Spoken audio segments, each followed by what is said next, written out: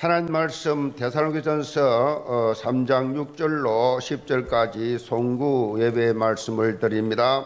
우리 같이 한 음성으로 같이 읽겠습니다. 지금은 디모데가 너희에게로부터 와서 너희 믿음과 사랑의 기쁜 소식을 우리에게 전하고 또 너희가 항상 우리를 잘 생각하여 우리가 너희를 간절히 보고자 함과 같이 너희도 우리를 간절히 보고자 한다 하니 이러므로 형제들아 우리가 모든 궁핍과 환란 가운데서 너희 믿음으로 말미암아 너희에게 위로를 받았노라. 그러므로 너희가 주 안에 굳게 선적 우리가 이제는 살리라. 우리가 우리 하나님 앞에서 너희로 말미암아 모든 기쁨으로 기뻐하니 이는 너희를 위하여 능히 감사할 어떠한 감사로 하나님께 보답할까 주야로 심히 간과함은 너희 얼굴을 보고 너희 믿음이 부족한 것을 보충하게 하려 함이라. 아멘. 아, 구절 말씀에 근거해서 어떠한 감사로 하나님께 보답할까라는 제목입니다. 아, 지금 우리는 20, 2021년 이제 마지막 자락에 와 있습니다. 2021년도에 너 입을 크게 열라 내가 채우리라는 이 언약의 말씀 붙잡고 힘차게 출발을 해줬습니다. 하나님께서는 우리의 믿음의 입, 기도의 입을 열라라고 말씀하셨습니다. 그러면 우리는 큰 도움을 받을 것이고 우리의 능력 대신은 하나님께서 최상의 것, 최고의 것으로 그렇게 어, 만족하게 채워 주실 것이라고 약속을 하셨습니다. 이 말씀 그대로 우리는 믿었고 기도했고 하나님께서 채워 주시는 그 은혜를 더욱더 체험을 하게 된 한 해였습니다. 저는 개인적으로 이렇게 어, 교회를 섬기면서 이렇게 온 교회가 하나 된 모습을 정말로 크게 체험을 한 한 해였습니다.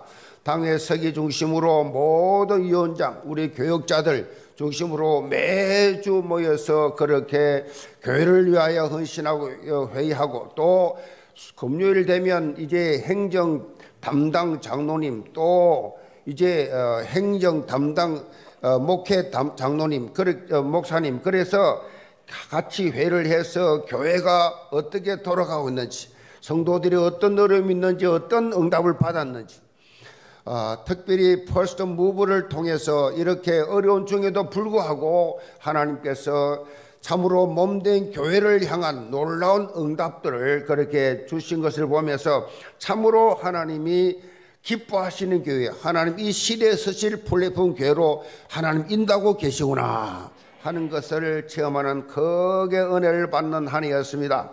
세상은 코로나19 팬데믹의 영향으로 여전히 지금 벗어나지 못하고 있습니다.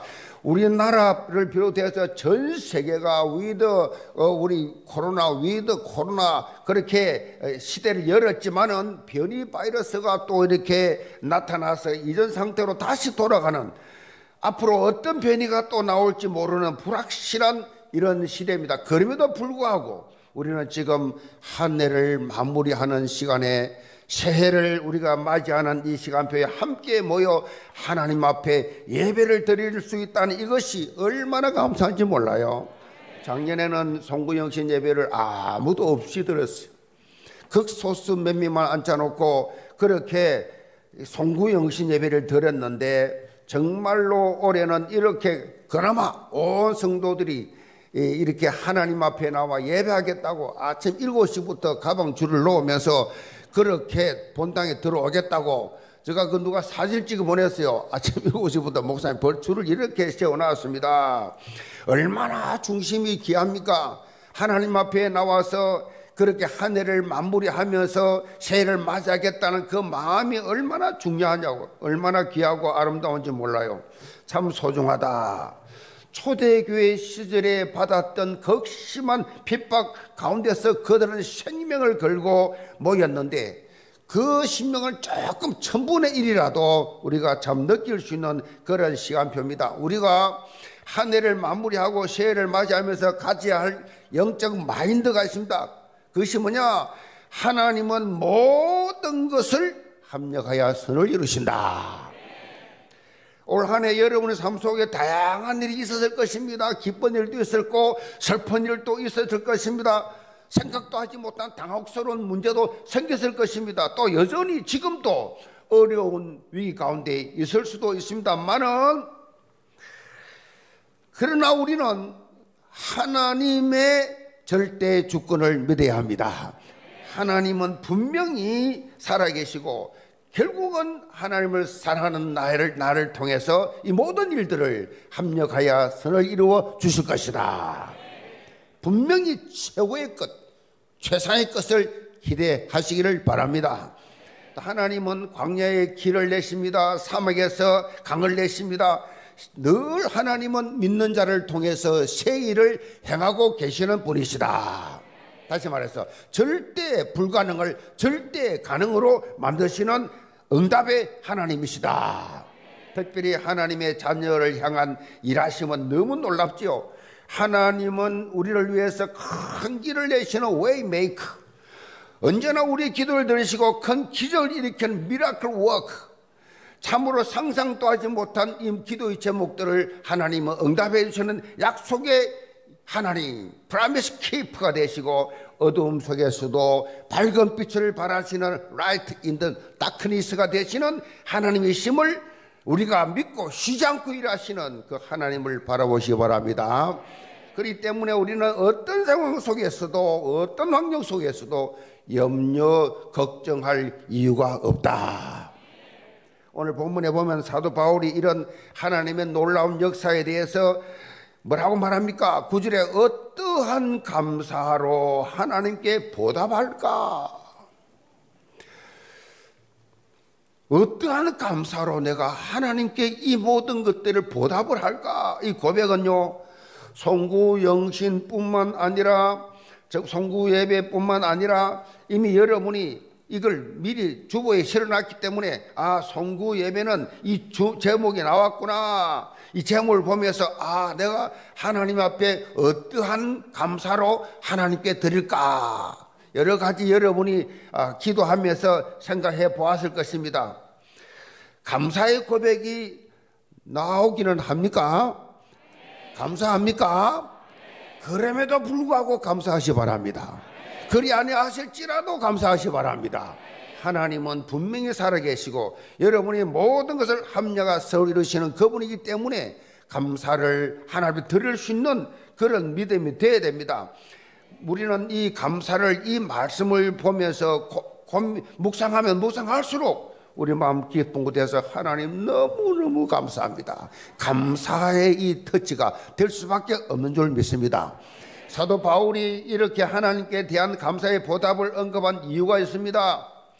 지금 사도 바울은 대사님과 교회 편지를 쓰고 있는 상황입니다. 대사님과 교회는 사도 바울이 제2차 전도 여행할 때에 세워졌습니다. 사도행전 16장에 보면 바울이 소아시아 지역에서 복음 전도를 계속 하려고 했는데 하나님께서 환상을 통해서 마게도냐 마게도냐로 가라. 마게도냐가 어디냐? 지금의 그리스입니다. 특히 옆에 그리스. 그리스 글로 인도하셨습니다. 그 바울이 마게도냐 지역에서 첫성의 빌립보에서 루디아를 만나서 이제 복음을 전가하고 그걸 거쳐서 대사님과에 간 것입니다. 사도행 17장에 보면 사도 바울이 마게도냐 지역의 첫성의 빌립보를 거쳐서 이제 들어간 곳이 마게도냐인데 이곳에서 3주 동안 그렇게 이 세 번에 걸쳐서 캠프를 한 것입니다. 유대 해당에 들어가서 복음을 증가하고 또 그렇게 가정가정에 복음을 증가하면서 삼중한 전도 캠프를 해서 세운 것이 대사님과 교회입니다.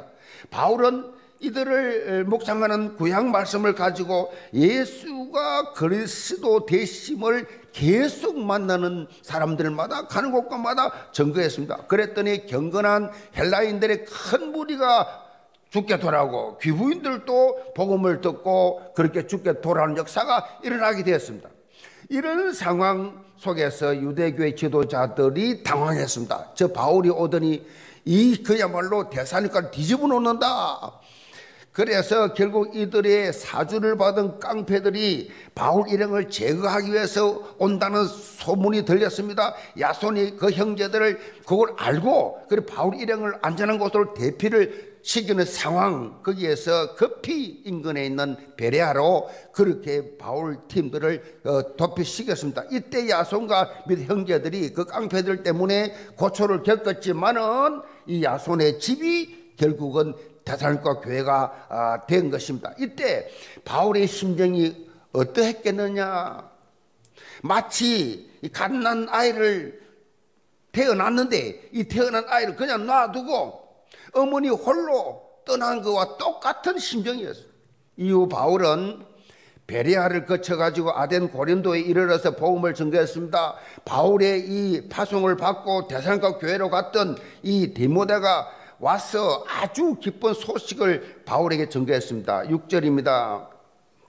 지금은 디모데가 너에게로부터 와서 너희 믿음과 사랑의 기쁜 소식을 우리에게 전하고 또 너희가 항상 우리를 잘 생각하여 우리가 너희를 간절히 보고자 함과 같이 너희도 우리를 간절히 보고자 한다 하니 이러므로 형제들아 우리가 모든 궁핍과 환란 가운데서 너희 믿음으로 말미암아 너희에게 위로를 받았노라. 그러므로 너희가 주 안에 굳게 선적 우리가 이제는 살리라.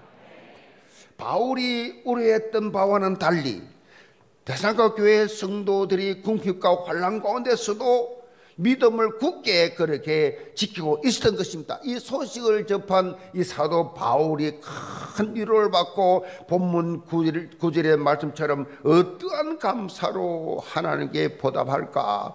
너희들이 이렇게 믿음으로 굳건히 서 있는 모습이 너무 감격스럽구나. 모든 것이 하나님의 전적인 은혜라는 사실을 고백합니다. 사도 바울은 이, 이 영적 전매 특허가 사도 바울의 영적 전매 특허가 뭐냐? 은혜 의심다, 은혜 의심. 늘 하나님의 은혜. 그리고 저 정도로 사도 바울은 하나님의 은혜 가운데 살았다라는 말씀입니다. 고린도전서 15장 10절에 보면 이 사실을 잘 보여줍니다. 내, 내가 나 된 것은 하나님의 은혜로 된 것이니 내게 주신 그의 은혜가 헛되지 아니하여 내가 모든 사도보다 더 많이 수고하였으나 내가 한 것이 아니요 오직 나와 함께 하신 하나님의 은혜로라. 사도 바울은 감사 24시였어요. 은혜 24였어요. 우리가 신앙생활 하면서 나의 24, 이 은혜 24, 그렇게 되면, 되면 그렇게 돼야 그 삶이 완전히 변화됩니다. 그렇게 되느냐 안 되느냐 감사 24가 되느냐 안 되느냐 이건 천양지 차이. 고양이와 강아지의 차이점이란 책이 있어요. 고양이와 이 강아지 이 두 동물 어, 차이점이 뭐냐? 기억력의 차이라 그래요. 고양이는 아홉 번 잘해주다가 한 번 혼내고 그렇게 꾸중을 하면 잘해준 건 하나도 기억 안 하고 혼낸 그것만 딱 기억하고 있다 그래요. 그래가지고 주인이 오라고 하면 확 됐던데요. 근데 강아지는 아픈 혼, 아픈 계속 혼내고 한 번 잘해주면 혼낸 거 하나도 기억 안 나고 오라고 하면 좋아가지고 막 와서 꼬리 짤짤 흔들고 아양을 던데 이, 이렇게 강아지하고 고양이가 다르기 때문에 그래서 강아지를 많이 키워요. 성경적으로 말하면 요 고양이는 완전 율법 체질이고 강아지는 완전 복음 체질이라. 어, 제가 이 말씀을 왜 드립니까? 어떤 영적 시각을 가지고 있느냐라는 것입니다. 어떤 영적 시각 가지고 있느냐? 은혜의 시각을 가지고 모든 것을 바라보라는 말씀이에요. 바울처럼. 은혜의 시각. 아니 다른 사람이 예수 믿어서 잘 잘한다 하는 모습 보면서 하나님께 내가 이 어떻게 이 은혜 내가 보답할까 이런 바울의 심정을 우리도 담자라는 얘기예요. 이 율법적 관점이 아니에요. 율법적 관점은 늘 불평, 원망, 아홉 번 잘해준 거 하나도 기억 안 하고 한 번 잘 못, 못한 거 가지고 계속 평생을 그렇게 상처를 주고받는 이런 율법 체질들 빨리 고쳐야 돼요. 주로 여자들이 주로 많아. 복음적 관점을 가지면 불평, 원망, 염려, 걱정하지 않습니다. 사실 은혜 24가 되면요. 자연스럽게 오는 것이 감사와 기쁨이에요. 자연스럽게 오는 거죠. 대사로전서에 보면 이 특히 감사와 기쁨의 삶을 많이 강조하고 있습니다. 대성전서 5장 10절 18절 잘 아시잖아요. 항상 기뻐하라 쉬지 말고 기도하라 범사에 감사하라 이것이 그리스도 예수 안에서 너를 향하신 하나님의 뜻이니라. 항상 쉬지 말고 범사에 이 무슨 말입니까? 한마디로 24, 24. 20, 감사, 기쁨 24. 늘 감사하고 그 사람만 생각하면 막, 막 이상하게 웃음이 나고 그 사람을 생각하면 막 힘이 나고 막 뭔가 소망이 보이고 아멘. 그게 이제 복음 24된 사람들을 말합니다. 그것이 하나님 뜻이기 때문에 하나님 뜻이에요. 하나님 뜻이기 때문에 그걸 하시 기 바랍니다. 감사 24. 응? 나의 24가 뭐예요? 교회 24가 뭐예요? 하나님 앞에서 늘 감사, 기쁨 바울처럼 아멘. 이거 되어져. 그래야 이 24 하나님과 영적 소통이 잘 되고 모든 환경, 모든 상황, 문제, 사건 다 뛰어넘어. 다 뛰어넘으세요. 지금 올해 지나갑니다. 올해 있었던 모든 상처, 아픔, 모든 실수, 모든 자, 잘했던, 못했던 거 상관없이 하나님 새해를 준비하고 있어요. 새로 시작하라고. 새로운 믿음으로, 새로운 마음으로, 새로운 각오로 새로 시작하라고. 올해 데려갈 텐데 코로나에서 안 데려가고 살려줬잖아요. 그럼 하나님 계획이 있다는 얘기 아닙니까? 그래서 여러분 한 해를 잘 감사와 기쁨으로 마무리하시기를 바랍니다. 이제 2021년 마무리하면서 함께 기도의 자로 나갈 텐데 자, 이 시간 우리가 기도할 때 새 은혜를 받는데 혹이라도 걸림돌이 된다. 딱 걸려 있다. 막시 고기를 먹었는데 이, 이, 이 뭐 가시가 다 이, 생선을 먹었는데 걸려 있다. 요런 거 같은 그런 마음에 딱 상처, 뭔가 불편치 않는 그런 거, 그런 이 그런 문제, 그 인간관계, 그 모든 사건 문제, 이 미결 사항 지금 오늘 올해가 가기 전에 불과 몇 분 안 남았습니다. 하나님 앞에 진심으로 기도하면 하나님은 시간 상관없는 분이 순간이란 단어도 없는 분이에요. 하나님 단 1초라도 마음 딱 먹고 기도하면 하나님이 해결해 주신다. 치유해 주신다. 그, 그래서 전능자예요. 우리 하나님 앞에 간절한 마음으로 오래 할 것도 없습니다. 내 안에 남아있는 불신앙, 내게는 정죄의식, 내게는 상처, 아픔, 갈등의 요소들을 다 하나님 앞에 그리스도의 십자가 앞에 다 내려놓습니다. 그런 마음을 가지고 여러분이 기도를 하면 돼. 2022년 하나님의 언약 성취에 쓰임 받는데 방해될 것 같은 그 모든 것. 내가 하나님 앞에 신앙생활 하는데 하나님 나라를 위하여 내가 쓰임 받기 원하는데 그게 방해되는 걸림돌들. 그것들 여러분이 잘 아시잖아요. 그걸 완전히 내려놓고 이제는 뭐 걸림돌이 없이 형통하게 하나님 앞에 나 자유, 너 자유, 우리 자유 자유롭게 예배할 수 있도록 자유롭게 기도하고 자유롭게 하나님을 하나님이라 할 수 있도록 이에 여기에 걸림돌인 거 다 제거하여 주옵소서. 기도를 그렇게 하시란 말이에요. 하나님, 하나님을 섬기고 예배하고 하나님 나라를 위하여 헌신하고 싶은데 하나님을 더 알고 싶은데 하나님께 더 가까이 가고 싶은데 하나님께 내 기도한 것이 응답 받고 싶은데 여기에 걸림돌 되는 것을 제거하여 주옵소서.